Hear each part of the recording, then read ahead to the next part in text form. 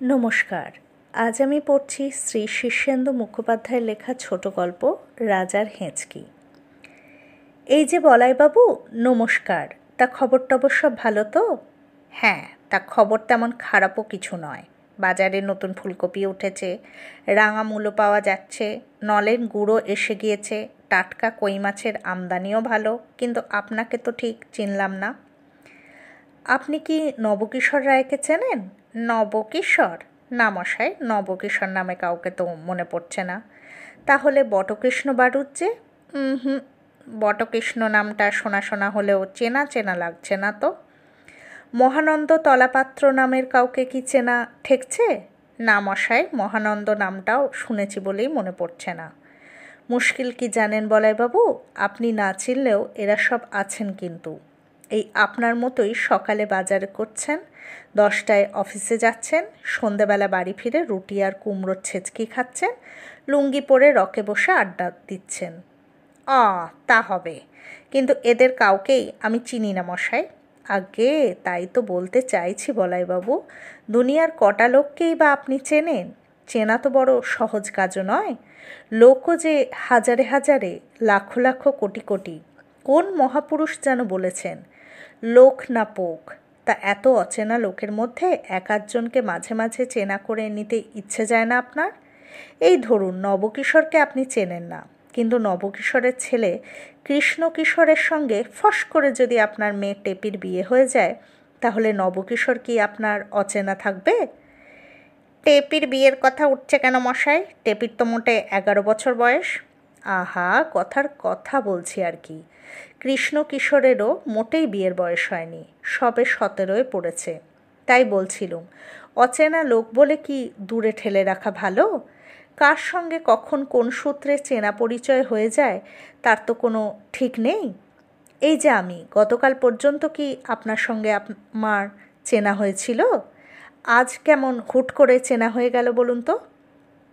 না মশাই, চেনা এখনও হয়নি, আপনাকে আমি মোটেই চিনি না।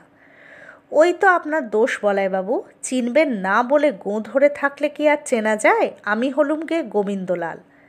আ তা ভালো, পরিচয় পেয়ে বড় খুশি হলুম। আমি তাহলে আসি? বিলক্ষণ, আসবেন বই কি? তা চলুন, আমিও ওই দিকেই যাব কি না? যেতে যেতে দুটো সুখ দুঃখের কথাও বলা যাবে। তবে আমার আবার দুঃখের পাল্লাটাই ভারী কি না? দেখুন গোবিন্দবাবু দুঃখ টুক্ষ আমাদের সবারই আছে। এখন ওসব হাঁপড়হাঁটি শোনার আমার সময় নেই, অফিসের দেরি হয়ে যাবে। তা তো বটেই, তবে কিনা আজ একটু দেরি হলেও তেমন ক্ষতি নেই, রোববারের অফিস তো। আজ বুঝি রোববার? একেবারেই খেয়াল ছিল না। অফিস না থাকলেও আমার অনেক কাজ আছে গোবিন্দবাবু। সে আর বলতে, রোববার তো আপনার গেঞ্জি আর আন্ডারওয়্যার কাচার দিন এ কে না জানে। এছাড়া করালিবাবুর সঙ্গে জমিতে বেড়া দেওয়া নিয়ে বকেয়া ঝগড়াটাও মুলতুবি রয়েছে। রোববারের কিস্তির কাজিয়াটাও সারতে হবে। তারপর ধরুন বেলা এগারোটায় লক্ষ্মীকান্তবাবুর সঙ্গে এক পাট্টি দাবা খেলা আছে। রোববারে যে আপনার দম ফেলার সময় থাকে না, এও সবাই জানে কি না? আপনি তো খুব ঘোরের লোক মশাই আমার সম্পর্কে এত খবর পেলেন কোথায়? আপনি পুলিশের চট্টর নন তো? ঘাবড়াবেন না বাবু আমি আসলে একজন দুঃখী লোক। একটা খারাপ খবর দিতেই আপনার কাছে আসা। খারাপ খবর? কীরকম খারাপ খবর মশাই? কাটোয়ায় আমার নব্বই বছরের বুড়ি পিসি থাকেন, তা পিসি হঠাৎ মারা টারা যাননি তো? আমার রাঙা মামার ক্যান্সার হয়েছিল বলে একটা উড়ো খবর পেয়েছিলাম। তার কিছু হলো টলো নাকি? হ্যাঁ মশাই, টাটা কোম্পানির শেয়ারের দর কি হঠাৎ পড়ে গিয়েছে? আমার চিরশত্রু কালোবরণ কি লটারি পেয়েছে? নাকি টেরাকেষ্ট জেল থেকে ছাড়া পেয়েছে? সে বলেছিল বটে, জেল থেকে বেরিয়ে আমাকে দেখে নেবে। হ্যাঁ মশাই, বিষ্টুবাবু কি তার দু হাজার টাকা ধার আদায় করতে আসছেন? আমার নামে হুলিয়া জারি হয়নি তো? নাকি কেউ আমাকে মারার জন্য গুন্ডাদের সুপারি দিয়েছে? না মশাই, না। খবরটা খারাপ হলেও আপনার ভয় নেই। কথাটা হলো, আমার চাকরিটা গিয়েছে। যাক বাবা, বাঁচা গেল। খারাপ খবরের কথা শুনলে আজকাল বড় বুক ধরফর করে। তা আপনার চাকরি গেলে আমার কি যায় আসে বলুন? আমি মশাই বড্ড ছাপোষা লোক সাহায্য টাহায্য চেয়ে লজ্জা দেবেন না। আরে না, আপনাকে লজ্জা দেওয়ার কোনো ইচ্ছেই আমার নেই। দুঃখের কথা কইলে বুকটা একটু ঠান্ডা হয়। এই যা। তা অবশ্য ঠিক। তা আপনি কোথায় চাকরি করতেন, গোবিন্দবাবু? রামনগর রাজবাড়ির কথা জানেন কি? রামনগর রাজবাড়ি? না মশাই, ঠিক মনে পড়ছে না। আপনার জানা না থাকলেও রামনগরের রাজবাড়ি খুবই বিখ্যাত। তা হতেই পারে, কত কিছুই তো আমাদের জানা নেই। অতি সত্যি কথা। অনেক কাঠখড় পুড়িয়ে সেই রাজবাড়িতে আমার একটা চাকরি হয়েছিল। রাজবাড়ির চাকরি? কিন্তু শুনতে পাই আজকাল আর রাজা গজাদের দিন নেই। রাজবাড়িগুলো সব মিউজিয়াম বা সরকারি দপ্তর হয়ে গিয়েছে। তা গিয়েছে বটে। তবে দেশের সব চোর ডাকাত যেমন জেলে যায় না, পুকুর বা নদীর সব মাছই যেমন ধরা পড়ে না দেশলায়ের সবকটা কাঠি যেমন জ্বালানো যায় না তেমনই রাজবাড়িগুলোরও কয়েকটা এখনও টিকে আছে। রামনগরে শুধু রাজবাড়িই নেই, জরির পোশাক পরা মুকুট মাথায় বুড়ো রাজা আছেন, তার তিন রানী, মন্ত্রী, সেনাপতি সব আছেন। সকালে রোজ দরবার বসে, সেখানে অপরাধীদের বিচারও হয় সভা গায়ক সভা কবি পর্যন্ত আছেন। বলেন কি মশাই, এ তো আষাঢ়ে গল্প, তা সেখানে যাওয়া যায়? খুব যাওয়া যায়, রাস্তাটা একটু প্যাঁচালো এই যা। তা আপনি সেখানে কি চাকরি করতেন, গোবিন্দবাবু? চাকরিটা বেশ গুরুতরই ছিল মশাই। সকালে শয্যা ত্যাগের পর থেকে রাতে শয্যা গ্রহণ পর্যন্ত রাজামশাই কবার কাশলেন কবার হাঁচি দিলেন, কবার হাই বা ঢেকুর তুললেন এবং কটা দীর্ঘশ্বাস ফেললেন তার হিসেব রাখা। কাশি হলে ক্রস চিহ্ন, হাঁচি হলে ঢেড়া ঢেকুর তুললে গোল্লা, হাই তুললে দাঁড়ি আর দীর্ঘশ্বাস ফেললে ভাগ চিহ্ন। রাত্রিবেলা বুড়ো রাজবৈদ্য সেগুলো যোগ দিয়ে হয়তো দেখলেন রাজামশাই বাইশ বার কেসেছেন, এগারোটা হাঁচি দিয়েছেন, একশো বত্রিশটা ঢেকুর আর তেরোটা হাই তুলেছেন। সেই বুঝে তিনি রাজার জন্য নানা ওষুধের ব্যবস্থা করতেন। এ তো ভারী মজার চাকরি মশাই। না মশাই, মোটেই মজার চাকরি নয়।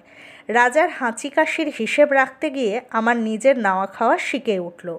সারাক্ষণ রাজমশাইকে নজরে নজরে রাখতে হতো। একটা হাঁচি কাশির এদিক ওদিক হলে বেতন কাটা যেত। তা রাজবাড়িতে বেতনটা কীরকম ছিল গোবিন্দবাবু? তা সেটা খুব মন্দ ছিল না। মাসে পাঁচ মোহর। মোহর? মানে সোনার মোহর? আগে। সেখানে এখনও মোহরেরই চল কিনা? রাজামশাই তো সোনার উপছাড়া আর কোনো ধাতু ছুতেন না। তার তরোয়ালের হাতলটাও রূপো বাঁধানো। গাড়ু পিগদানি, থালা, গেলা সবই রূপোর। ও এ তো ভাবা যায় না মশাই, মাসে পাঁচ মোহর মানে তো পঞ্চাশ ষাট হাজার টাকা। রীতিমতো শাঁসালো চাকরি মশাই, তা সেটা খোয়ালেন কি করে? সেটাই তো দুঃখের কথা মশাই, একদিন রাতে রাজামশাই খেতে বসেছেন। কাশ্মীরি পোলাওয়ের সঙ্গে মাছের নবরত্ন কালিয়া, মোগলাই দমপুক্ত, মাংস মুড়িঘণ্ট মুর্গ মুসাল্লাম, চিংড়ির মালাইকারি, আলু বখরার চাটনি, নলেন গুড়ের পায়েস, রাবড়ি রাঘবশাহী আর সরভাজা। এ যে এলাহি ব্যবস্থা মশাই, বলি রাজা গজাদের কি ব্লাড সুগার কোলেস্টেরল হার্ট ডিজিজের ভয় নেই? নিদেন গ্যাস, অম্বল অথবা ডিসপেপসিয়া তো হতেই হবে। আপনার আমার মতো চুনোপুটিত নন, সাড়ে ছ ফুট লম্বা। ইয়া বুকের ছাতি পেল্লাই ভুড়ি, থামের মতো পা, মুগুরের মতো হাত। বুঝেছি বুঝেছি, তারপর কি হলো বলুন? হ্যাঁ সেই দুঃখের কথাটাই বলি। মাংস চিবোতে গিয়ে রাজামশাই একটা লঙ্কা চিবিয়ে ফেলেছিলেন। সে এমন ঝাল লঙ্কা যে রাজামশাই এক্কেবারে নাকের জলে, চোখের জলের অবস্থা। ঝালের চোটে হেঁচকি উঠে গেল, আর সে কি হেঁচকি মশাই? হেঁচকির চোটে দম বন্ধ হয়ে যাওয়ার জোগাড়। রাজবৈদ্য ছুটে এলেন, মন্ত্রী এলেন, সেনাপতি এলেন, বিদূষক এলেন, ঘটি ঘটি জল খাওয়ানো হলো, নানা মুষ্টিযোগ প্রয়োগ করা হলো, বিদূষক নানা রসিকতা করলেন, কিছুতেই কিছু হয় না। রাজামশাই করে কেবল হেঁচকি তুলে যাচ্ছেন। তখন আমি বললাম মন্ত্রীমশাই, আমি একটু চেষ্টা করে দেখব। মন্ত্রী বললেন, অবশ্যই অবশ্যই, রাজাকে আরোগ্য করলে পারিশ্রমিক পাবে। আমি দুরু দুরু বুকে এগিয়ে গিয়ে কি করলাম জানেন? রাজার গালে সপাটে এক চর কষিয়ে দিলাম। বলেন কি মশাই হে হে হে, এটা খুব ভুল করলেন। রাজার গালে চর মারলে কি কারও চাকরি থাকে?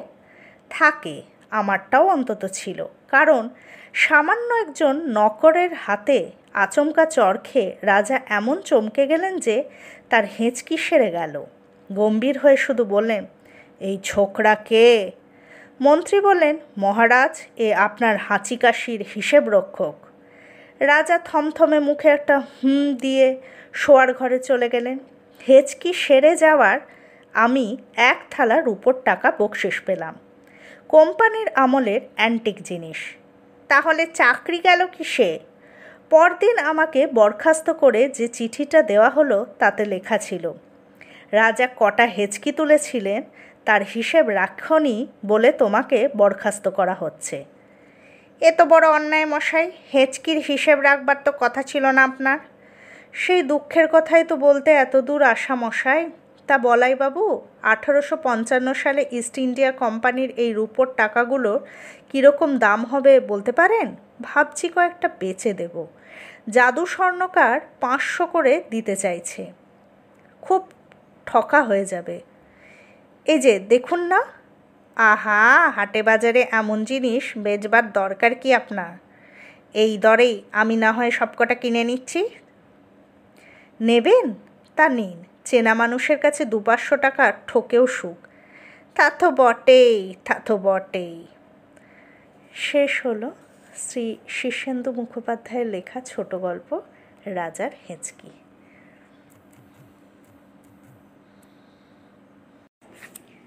গল্পটা যদি আপনাদের ভালো লাগে, তাহলে লাইক, শেয়ার এবং সাবস্ক্রাইব করতে ভুলবেন না। নমস্কার।